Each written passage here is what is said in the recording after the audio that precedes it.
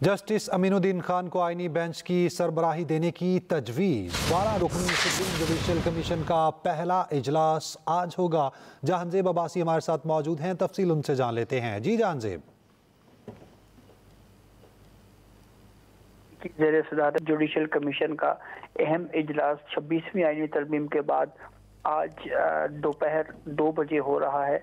ये इजलास supreme court Islamabad में मुनद होगा, जिसमें जुडिशल कमीशन के सेक्रेटेरिएट के क्याम और आइनी बेंचेस के लिए जजिस की नामजदगी के ऊपर गौर होगा। इस इजलास में justice Mansoor Ali Shah justice Munib Akhtar justice Aminuddin Khan के अलावा वज़ीर कानून आज़म नज़ीर तारर पीपल्स पार्टी के senator Farooq H Naik Pakistan bar council के नुमाइंदा अख्तर हुसैन शिरकत करेंगे।